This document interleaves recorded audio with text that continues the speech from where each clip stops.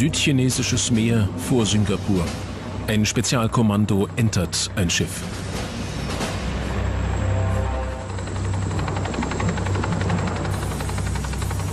Der Verdacht? An Bord ist Material zum Bau von Massenvernichtungswaffen auf dem Weg zu einem Hafen im Arabischen Meer. Dies ist nur eine Übung in den Gewässern vor Singapur. Doch die Bedrohung ist nur allzu real. Terroristen könnten eine Atombombe in die Hände bekommen und Millionen Menschen töten.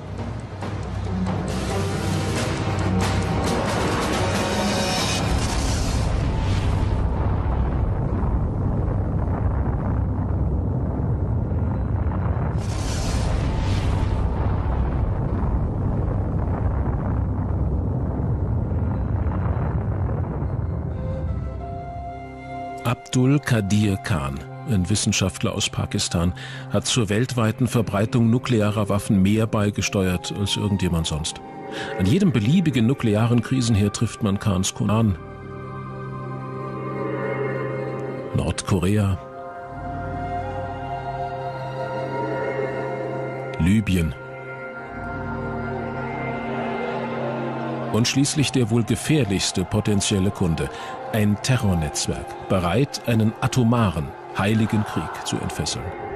Dies ist die Geschichte eines Mannes, dessen todbringendes Vermächtnis auf der ganzen Welt verteilt ist. Die Geschichte eines Mannes, der lange Zeit unerkannt bleibt. Und es ist die Geschichte über seinen Anteil daran, in der ganzen Welt eine nukleare Saat zu verteilen, die jederzeit explodieren kann. Die Spur des größten Atomwaffenschmuggels in der Geschichte beginnt Anfang der 70er Jahre, hier in den Niederlanden. Mehr als zehn Jahre studiert ein junger Pakistani namens Abdul Qadir Khan in Europa, unauffällig. Er macht seinen Abschluss in Metallurgie. Im Jahre 1974 verändert sich die Welt des Studenten Khan drastisch, als Indien seine erste Atombombe zündet. Indien, verhasster Nachbar und Feind Pakistans, besitzt nun Atomwaffen.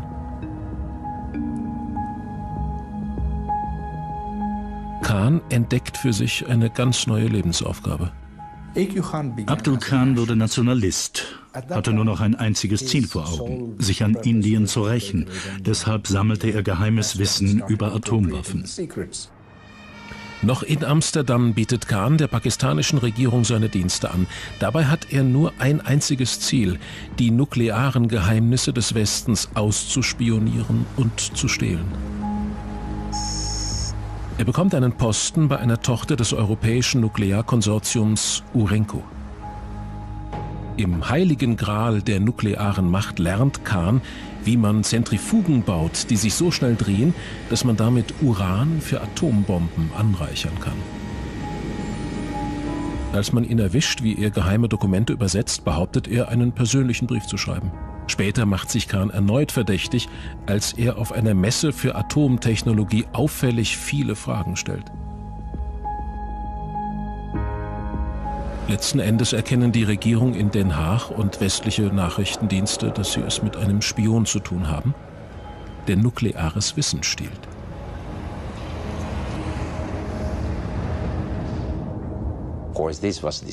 Natürlich haben wir dieses Thema diskutiert. Unser Geheimdienst war ja informiert. Löbers ist zu diesem Zeitpunkt noch Minister und wird bald darauf Regierungschef. Man ist sich ziemlich sicher, dass Washington schon 1975 von einem jungen Pakistani wusste, der Informationen über die Anreicherung nuklearen Materials stahl, Mr. Khan. Obwohl die CIA informiert war, sie muss es gewusst haben, hat man die ganze Sache mit einer Art Nonchalance behandelt und ihn gewähren lassen. Als die Niederländer Kahn festnehmen wollten, intervenierten die CIA und andere Geheimdienste, weil sie Kahn weiter beobachten wollten. David Schenger, Reporter der New York Times, findet bei seinen langen Recherchen über das Kahn-Netzwerk heraus, dass die CIA dadurch ein Risiko eingeht, das verheerende Konsequenzen nach sich zieht. Irgendwann verlor die CIA den Überblick. Der Geheimdienst wusste zwar, wo er steckte, hatte aber keine Ahnung mehr, was Khan tat. Die CIA weiß zwar, dass Khan für Pakistan die Atombombe bauen will, ist sich aber nicht im geringsten bewusst, dass er noch viel weiterreichende Ziele verfolgt. 1975 flieht Khan mit all seinen gestohlenen nuklearen Geheimnissen nach Pakistan. Immer wieder von Militärdiktatoren beherrscht, gibt es damals in Pakistan mehr Soldaten und Lehrer. So rückständig das Land in der Zeit auch ist, Khan erhält die klare Anweisung, die Bombe zu bauen, koste es, was es wolle. Den Befehl gibt Pakistans Premierminister Sulfikar Ali Bhutto. Seine Tochter Benazir, die nach dem Sturz und der Hinrichtung des Vaters seine Nachfolgerin wird, erinnert sich an die berühmten Worte ihres Vaters. Nach Indiens erstem Atomtest sagte er, dass wir die Bombe bauen, auch wenn wir deshalb Gras fressen müssten. Bhutto fordert die arabische Welt, Palästinenserführer Arafat, Libyens Staatschef Gaddafi und andere auf, sich seiner Bewegung Islamische Bombe anzuschließen. No matter who is pitted against the forces of Islam, seine Worte waren ganz klar. Die Hindus haben die Bombe, die Christen haben die Bombe, die Juden haben sie. Der einzige, der sie nicht hat, ist der Islam. Der pakistanische Journalist Ur Rehman schildert in einem Buch, wie Khan einen riesigen nuklearen Schwarzmarkt aufbaut, indem er geschickt seine Kontakte in Europa nutzt. So kommt er an entscheidende Materialien und Informationen. Es ist kein Geheimnis. Pakistans Atomprogramm basiert allein auf Diebstahl und Schmuggel. Und es ist finanziert mit amerikanischen Dollars. Kahns Bombe ist die Waffe einer Militärregierung, die amerikanische Hilfsgelder in Milliardenhöhe erhalten hat. Amerika braucht in den 80er Jahren ein starkes Pakistan, um in Afghanistan gegen die Sowjetunion vorgehen zu können. Deswegen drückt Washington bei Kahns Bombenprogramm beide Augen zu. Man wusste, dass Pakistan dabei war, die Bombe zu bauen. Pervez Hoodboy wird der einsame Rufer in seinem Land Pakistan. Der Nuklearphysiker ist führendes Mitglied der Anti-Atom. Wenn Sie einem Taxifahrer in Islamabad oder Rawalpindi sagen, er soll Sie zur Bombenfabrik bringen, dann weiß er ganz genau, wohin er fahren muss. Und doch berichtete die CIA ihrem Präsidenten Jahr für Jahr, dass Pakistan nicht auf dem Weg zur Atombombe ist. Was auch immer die CIA wissen mag, der Geheimdienst rechnet nicht damit, dass sich auch andere Länder für Kahns Bombe interessieren könnten. Kahn benutzt anstelle von riesigen Plutoniumreaktoren tausende kleine, viel billigere Uranzentrifugen, Sie drehen sich schneller als die Schallgeschwindigkeit, um spaltbares Material zu produzieren. Es bedarf nur eines kleinen Materialfehlers und diese Dinger explodieren. Genial, wie Khan es schaffte, dass sie funktionierten. Der Erfolg weckt natürlich auch das Interesse im Nachbarland Iran.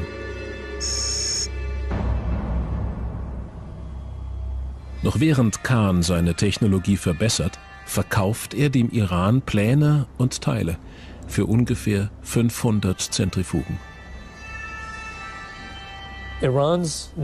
Iran besäße kein nukleares Programm, gäbe es da nicht Khan.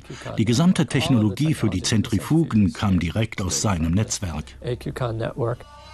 Doch keiner, weder die CIA noch die UN-Waffeninspektoren im Iran, erkennt die wirklichen Pläne Khans und des Iran. 18 Jahre lang haben die Iraner ihr Programm geheim halten können. Bis ihr Projekt bekannt wird und auf der Weltbühne zu einer nuklearen Krise führt.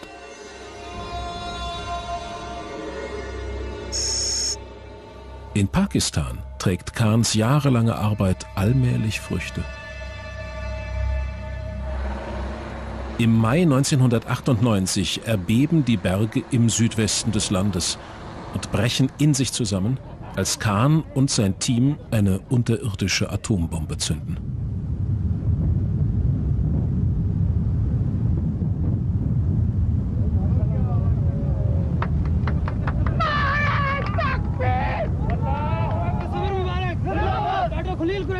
Pakistan feiert nicht nur die Geburt der islamischen Bombe, sondern auch seine neuen Helden, Abdul Qadir Khan.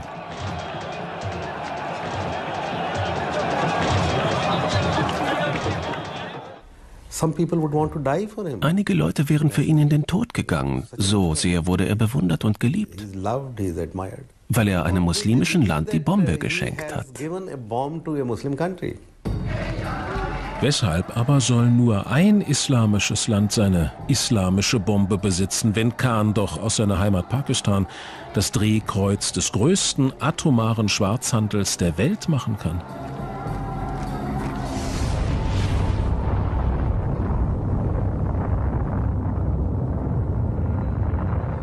Er hat die nuklearen Kräfte für seine Heimat Pakistan gebändigt.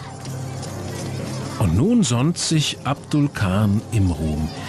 Er ist ein Held. Sowohl für die einfachen Menschen als auch für den Präsidenten. 1999, ein Jahr nachdem Khan seine Atombombe getestet hat, ergreift General Musharraf durch einen Militärputsch die Macht. Abdul Qadir Khan wurde der Vater der Bombe, die der ganze Stolz Pakistans ist. Ja, auch für mich war er ein Held, ein ganz herausragender Mann.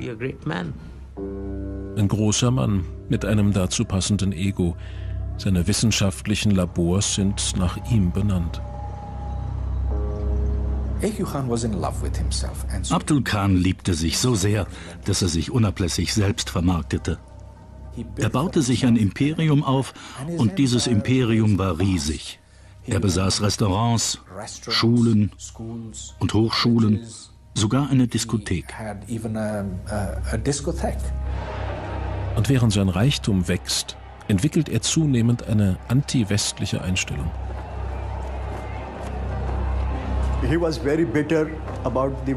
Er war verbittert, denn da er in fast ganz Europa und in den USA gesucht wurde, konnte er nicht länger in den Westen reisen. Er konnte nur noch in islamische Länder, wo er wie ein Held gefeiert wurde. Deshalb sah er sich mehr und mehr als Verfechter des Islam.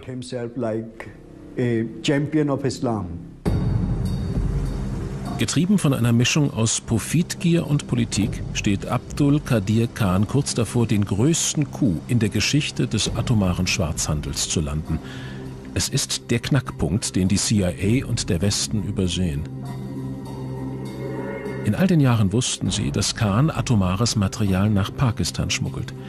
Doch sie vermuten nicht einmal, dass er nukleares Material nicht nur importiert, sondern es auch anderen Ländern verkauft. Khan zieht ins Finanz- und Seefrachtzentrum Arabiens nach Dubai. Er organisiert eine globale Versorgungskette, die Walmart vor Neid erblassen lassen würde.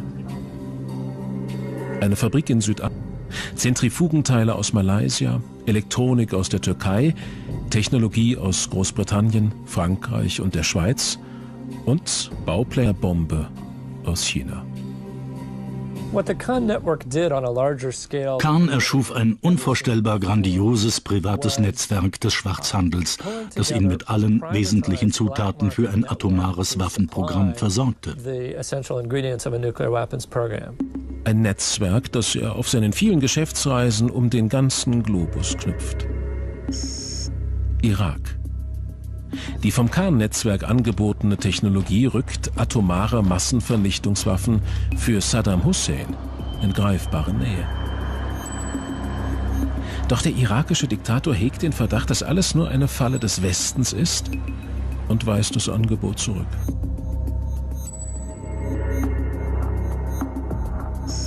Nächste Station Iran. Hier hatte Khan in den 80er Jahren seine ersten Geschäfte erfolgreich gemacht. Jetzt, Mitte der 90er, kehrt Khan zurück und verkauft den Iranern Baupläne für modernere Zentrifugen. Dann klopft ein noch lukrativerer Kunde an seine Tür. Nordkorea und sein Herrscher Kim Jong-il.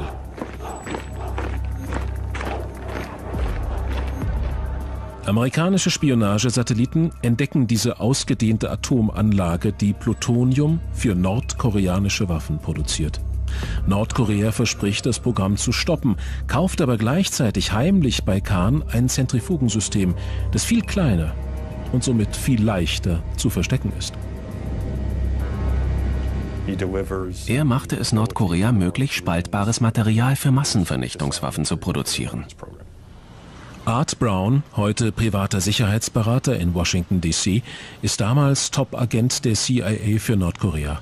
Und wie so viele andere Spione kann auch er kaum glauben, dass Khan alleine operiert. Wenn der Vater deines Atomwaffenprogramms ein so hermetisch abgeriegeltes Land wie Nordkorea zwölf oder dreizehn Mal besucht, ist es doch logisch, dass die Regierung davon unterrichtet ist. Oder sie will aus eigenem Interesse nichts unternehmen. Oder aber die Regierung ist so dumm, dass sie sich nicht vorstellen kann, wohin der Vater ihres Bombenprogramms diese Woche wohl gereist sein mag.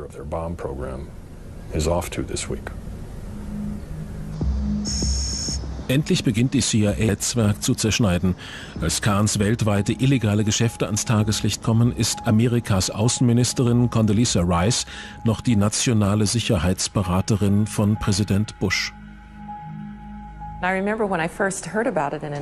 Als ich das erste Mal davon hörte, dachte ich, ach du meine Güte, da draußen gibt es tatsächlich Menschen, die nicht nur nukleare Geheimnisse oder Technologie verkaufen, sondern auch solche, die tatsächlich anderen Ländern durch ein privates Netzwerk die Entwicklung atomarer Technologie ermöglichen wollen. Das war ziemlich erschreckend. Aber es kommt noch schlimmer. Im Sommer 2002 filmen amerikanische Spionagesatelliten, wie Raketenteile in ein pakistanisches Transportflugzeug geladen werden. Die Amerikaner schließen daraus, dass Pakistan Khans Zentrifugenpläne gegen nordkoreanische Raketentechnologie eintauscht. Eigentlich hätten die USA mit einem riesigen Aufschrei protestieren müssen, als sie Pakistan auf frischer Tat ertappten. Denken wir aber an die Zeit damals. Der 11. September hatte gerade die Welt verändert, als Bush Musharraf einen aufrechten Mann nennt. Die Regierung Bush hatte entschieden, Pakistan mit seinem Atomprogramm nicht in eine peinliche Situation zu bringen und gleichzeitig auf Hilfe gegen den Terrorismus hoffen zu können.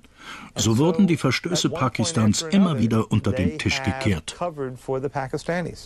Dadurch hat Khan die Gelegenheit, ein weiteres großes Geschäft einzufädeln. Mit Libyen. Staatschef Muammar Gaddafi ist entschlossen, Atomwaffen zu beschaffen. Er weiß natürlich, an wen er sich wenden muss. Für 100 Millionen Dollar hilft Khan den Libyern, eine riesige Atomwaffenfabrik zu bauen. Saif Gaddafi ist der älteste Sohn des Regierungschefs von Libyen und wohl sein Nachfolger. Er spielt eine Schlüsselrolle in der internationalen Diplomatie und zeichnet ein neues, freundliches Bild seines Landes. Doch bei seinen Reisen um die Welt tut er sich schwer, dieses freundliche Gesicht Libyens zu verkaufen. Er, er wird das Bild kaufen. Nein, nein, ich nicht. Sein Vater dagegen hat mehr Glück mit dem Ankauf atomarer Geheimnisse von Kahn. Uh, Wissen Sie, die Perfektionierung unseres Atomprogramms ist ein langer Prozess und wird noch Jahre dauern. Es ist nicht so einfach wie Kuchen backen. Es braucht Zeit und gewaltige Anstrengungen. Doch Kahn hat den Kuchen schon geliefert, mitsamt Zuckerguss. Aus allen Teilen der Welt versorgt sein Netzwerk Libyen mit fast allen Materialien, um den atomaren Brennstoff Uran anzureichern. Mehrere hundert Seiten Baupläne, die er von den Chinesen für eine Atombombe erhalten hat, legt er noch drauf. Diese Pläne für eine Atombombe wurden das entscheidende Element seines Angebots an Libyen. Nach dem Motto, kauft das Auto und der Toaster ist gratis. Oder kauft die Zentrifugen und die Pläne der Chinesen gibt's dazu. Libyen erhält quasi eine Gebrauchsanleitung zum Bau der Bombe. Es ist ein einfacher Entwurf zum Bau einer nuklearen Bombe. Waren Sie überrascht, dass Sie so viel bekommen sollten? Nein.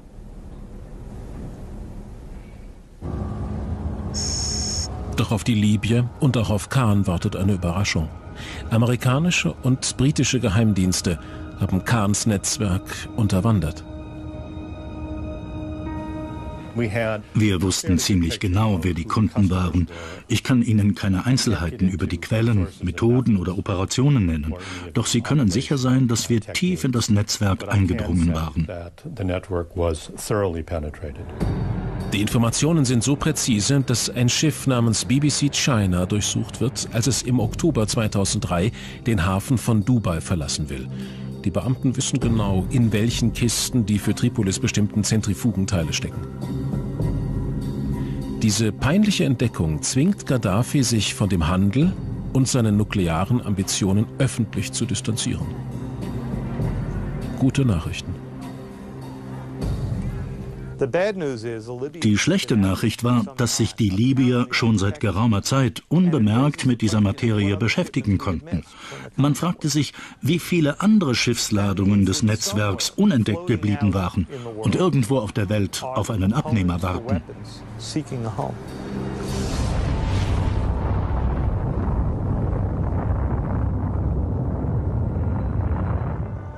Im Frühjahr 2004 beginnt Abdul Khan die Zeit davon zu laufen.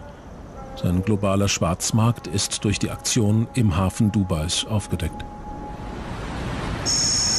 Der Schwarzmarkt ist aufgeflogen.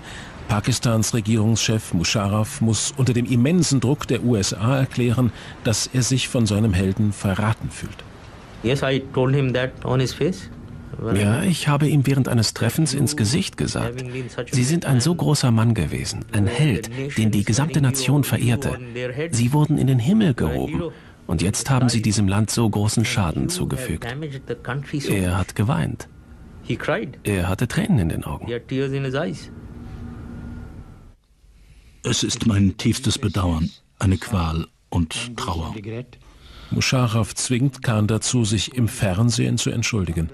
Khan spricht nicht in der Landessprache, sondern Englisch für ein internationales Publikum. Ich möchte betonen, dass es für diese Aktivitäten niemals irgendeine Genehmigung meiner Regierung gegeben hat. In Washington bejubelt Präsident Bush den Auftritt Khans wie einen Sieg. Das Khan-Netzwerk wurde der Justiz zugeführt. Wir haben ein von Abdul Khan geführtes Netzwerk im nuklearen Schwarzmarkt aufgedeckt und zerstört. Ist das Khan-Netzwerk aber tatsächlich vollständig zerstört? Immerhin hat er dem pakistanischen Militär die Atombombe geliefert, auch wenn General Musharraf, der oberste Armeechef, beharrlich behauptet, dass er von Khans illegalen Atomgeschäften mit anderen Ländern keine Ahnung gehabt habe. Kein Mensch in Pakistan wusste davon, außer ihm selbst. Seine Organisation, alle seine Abteilungen waren vollkommen autonom. Autonom in den Finanzen, autonom in den Entwicklungen und autonom in den Sicherheitsaspekten. Ich kann diese Theorie nicht akzeptieren, dass Khan selbstständig gehandelt hat. Sie passt wohl in Musharrafs Konzept. Benazir Bhutto äußert weitere ernsthafte Zweifel. Wie schaffte es Khan, die Materialien mit Flugzeugen hin und her zu befördern? Wie konnte er das Land verlassen, wenn er jedes Mal die Erlaubnis einholen musste? Natürlich konnte er behaupten, auf eine Pilgertour zu gehen. Aber wie viele religiöse Pilgerfahrten kann man schon nach Nordkorea machen? Das ergibt alles keinen Sinn. Musharraf würde Khan niemals seine Version der Geschichte erzählen lassen. Man sieht dem General sein Unbehagen an, als er einen Tag nach Kahns Entschuldigung selbst vor die Fernsehkameras tritt, um Kahns Begnadigung bekannt zu geben.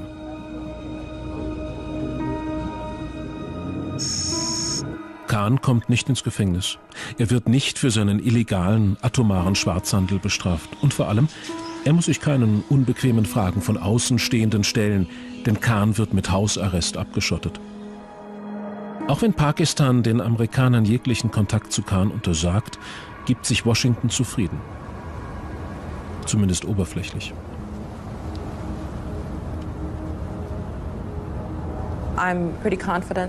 Ich bin davon überzeugt, dass wir mit der Kooperation Pakistans rechnen können, um unser Hauptziel zu erreichen, nämlich das Khansche Netzwerk stillzulegen. Stellt man die Kameras ab und kratzt ein wenig an der Oberfläche, dann kochen die Amerikaner vor Wut. Sie rasen förmlich. Hier hat man den größten atomaren Verbrecher der Welt und bekommt doch keinen Zugang zum Kopf der Organisation. Es bleiben natürlich eine Menge Fragen, was tatsächlich in den Laboratorien Abdul Qadir Khans vorging. Etwa bei diesem Treffen im Mai 1999. Ungefähr ein Jahr nachdem Khan erfolgreich seine Bombe getestet hat, empfängt er in seinen geheimen Anlagen einen ausländischen Würdenträger. Es ist Prinz Sultan bin Abd al-Aziz al-Saud, damals saudischer Verteidigungsminister. Heute ist er der Kronprinz von Saudi-Arabien. Sein Land ist noch immer der engste politische Freund Pakistans. Saudi-Arabien hat nicht nur den Bau der weltgrößten Moschee in Islamabad finanziert, sondern auch Milliarden an Ölsubventionen in das Land fließen lassen, während Pakistan gleichzeitig in aller Stille sein nukleares Arsenal ausbaut. Die Saudis spielten schon immer eine Schlüsselrolle in Pakistans Nuklearprogramm. Obwohl die Saudis hartnäckig dementieren, dass sie sich atomare Waffen beschaffen, sagt ein guter Bekannter Khans, der Nahostexperte Simon Henderson, das Gegenteil. Ich fürchte, dass Saudi-Arabien längst die Entscheidung getroffen hat, atomwaffenfähige Raketen zu beschaffen. Und ich fürchte, dass Pakistan der Lieferant sein wird. Saudi-Arabien könnte tatsächlich einer der vielen potenziellen Interessenten für Atomwaffen sein. Auf seinen Reisen durch die Kontinente spricht Khan mit einer Vielzahl von Menschen.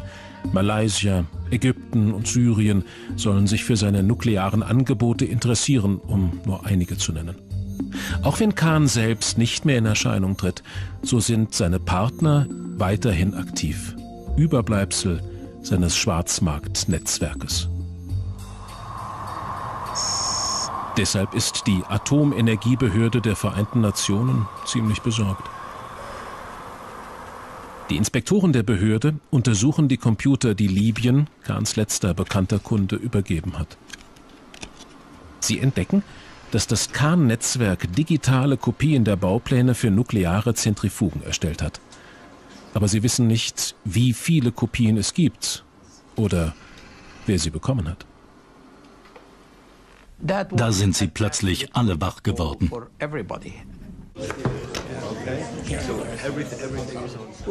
Mohamed El-Baradei und seine Behörde haben 2005 den Friedensnobelpreis für ihren Einsatz gegen den nuklearen Schwarzhandel bekommen. Aber er sagt, dass der Preis für Einfallsreichtum an Kahn gehen müsste. Als wir das erste Mal vom Kahn-Netzwerk hörten, hat es mir fast die Sprache verschlagen. Selbst in meinen kühnsten Träumen ist mir nie der Gedanke gekommen, dass es so etwas wie einen nuklearen Walmart geben könnte. Ein Netzwerk, das mit nuklearen Materialien handelt. Die Atombehörde sollte bisher überwachen, ob sich die einzelnen Länder an das Nichtverbreitungsabkommen von Atomen Jetzt müssen sich El Baradais Mannen mit einem verdeckt operierenden nuklearen Schwarzhändler auseinandersetzen. Der macht nicht nur mit Regierungen Geschäfte. Das Netzwerk macht mir nicht nur Sorgen wegen seines Handels mit Regierungen, mir bereitet die mögliche Zusammenarbeit mit Terroristen viel größere Sorgen.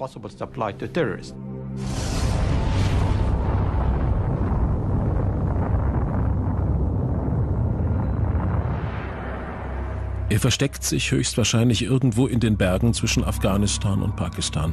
Der meistgesuchte Terrorist der Welt, Osama bin Laden. Aus seinem Verlangen nach nuklearer Macht hat er nie ein Geheimnis gemacht. Seine religiösen Motive wurden sogar von einem saudischen Geistlichen abgesegnet, der den Einsatz atomarer Waffen gutheißt.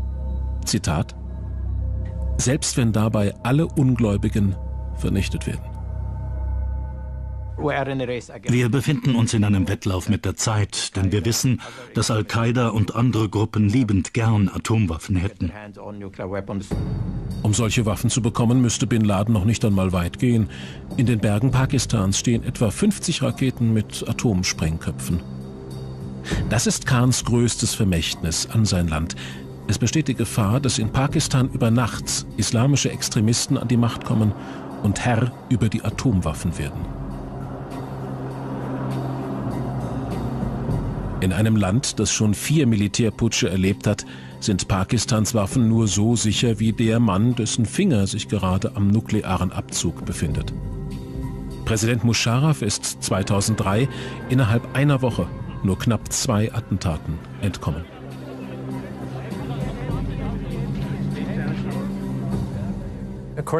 Pakistan nennt als Drahtzieher Offiziere des Militärs, die Al-Qaida nahestehen. Wenn aber das Militär, das den Präsidenten schützen soll, solche Attentate ausführt, dann fragen wir uns, was ist mit den Offizieren, die Atomwaffen bewachen? Sie sind sehr, sehr sicher verwahrt. Ich habe überhaupt keine Sorge, dass sie Extremisten in die Hände fallen könnten. Doch die Extremisten sind überall, nicht nur in der Armee. 60 Prozent der Bevölkerung Pakistans sympathisieren mit Osama bin Laden, so Meinungsumfragen.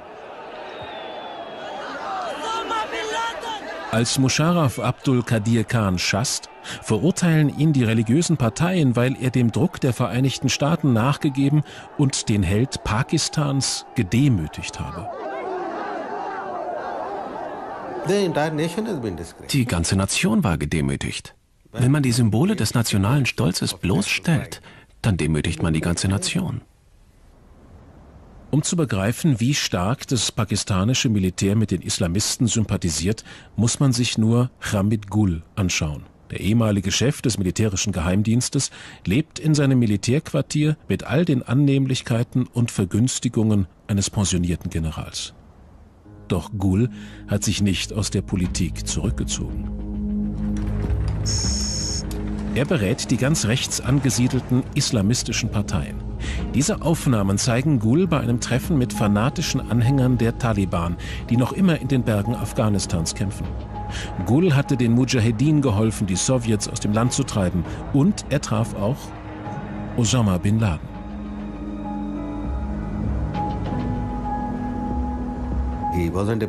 Er war nicht das blutrünstige Tier, als das er beschrieben wird. Ich begegnete einem sehr sensiblen, sogar etwas schüchternen Mann mit glänzenden schwarzen Augen und einer sympathischen Ausstrahlung. Gul steht nicht allein mit dieser politischen Haltung. Als Abdul Khan 1998 seine Bombe zündet, ist einer der führenden Wissenschaftler des Projektes, Sultan Bashir Mahmud, an seiner Seite bis er wegen seines offenen, feurigen Bekenntnisses zu den Taliban gefeuert wird, leitet er die wichtigste Plutoniumanlage des Landes.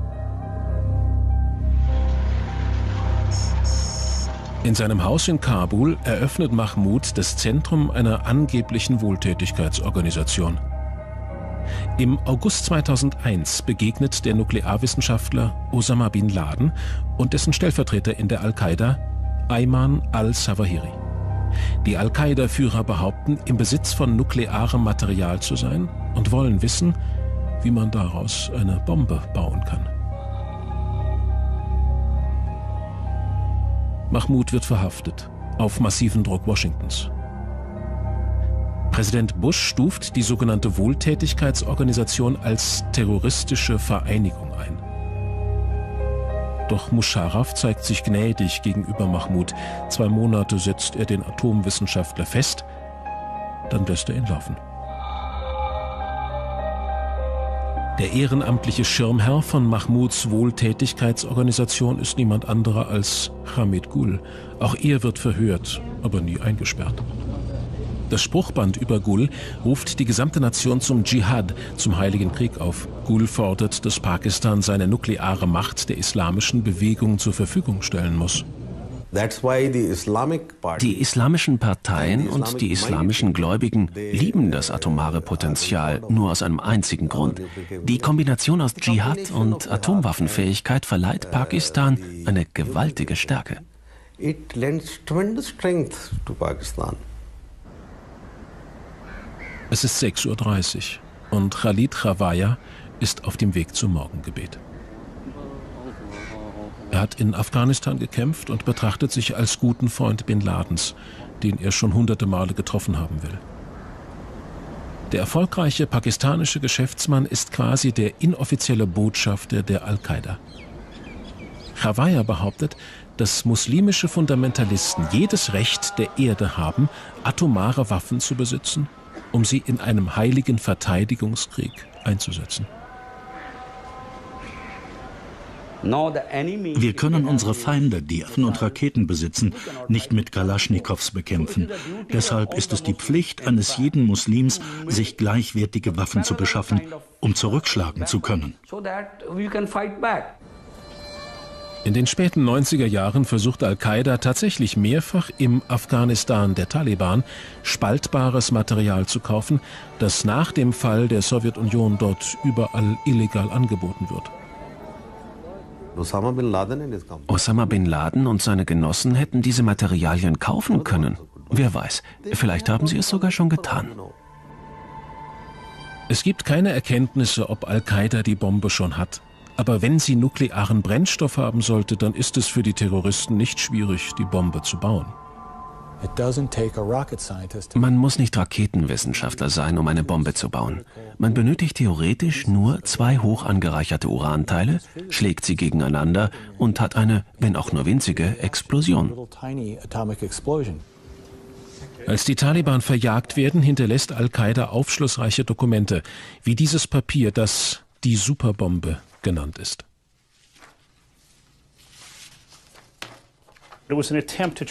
Es zeigt den Versuch herauszufinden, wie man eine Atombombe konstruieren könnte. Wir betrachten dieses Dokument als Beweis dafür, dass Al-Qaida Atomwaffen bauen wollte. Unglücklicherweise ist das bis heute auch jedem gelungen. No one has ever failed building one. Wir müssen jedes Mal hundertprozentig richtig liegen. Sie müssen es nur ein einziges Mal. Und wenn man von Terrorismus mit einer Atombombe oder einem anderen nuklearen Gerät spricht, dann möchte man auch dieses eine Mal nicht falsch liegen. Schon eine kleine, nach Washington oder New York eingeschmuggelte nukleare Waffe würde Hunderttausende Menschen töten oder verletzen. Wir besitzen die Atomwaffe. Wenn ihr angreift, dann geben wir euch dieses schöne Geschenk zurück. Wir haben keine Angst vor dem Tod, aber unsere Feinde.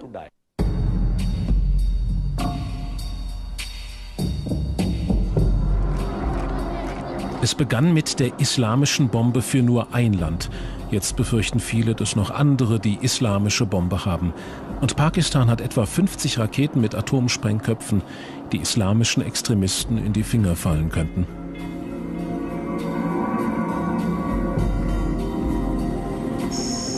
Iran. Hunderte Frauen haben vor dieser iranischen Atomanlage eine Menschenkette gebildet. Sie protestieren jedoch nicht gegen die zivile Nutzung der Atomenergie, sondern bilden einen symbolischen Schutzwall für die Anlage gegen den Westen. Irans radikaler Präsident Ahmadinejad beteuert, dass sein nukleares Programm nur friedlichen Zwecken dient.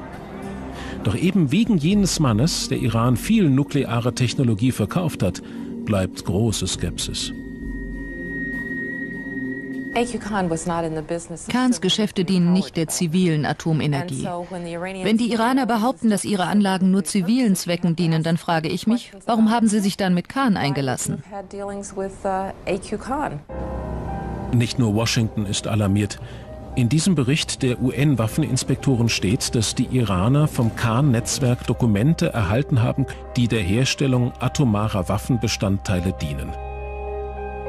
Es sind Anleitungen um Halbkugeln mit angereichertem Uran zu bestücken, wie sie für nukleare Waffen verwendet werden. Eine Menge Alarmglocken schrillten.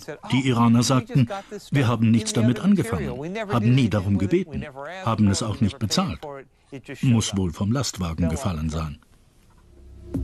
Die UN-Waffeninspektoren finden auch geheime Anordnungen für das Militär, gemeinsam mit Nuklearwissenschaftlern, so wörtlich, hochexplosive und militärische Wiedereintrittsvehikel, mit anderen Worten Sprengköpfe, zu testen.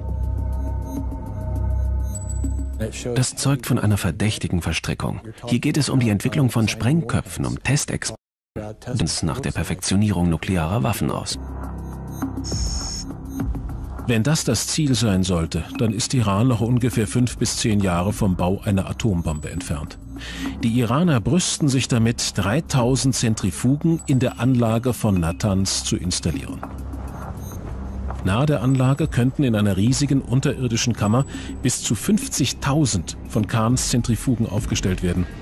Damit könnte der Iran Jahr für Jahr Material für mehr als 20 Atomsprengköpfe produzieren.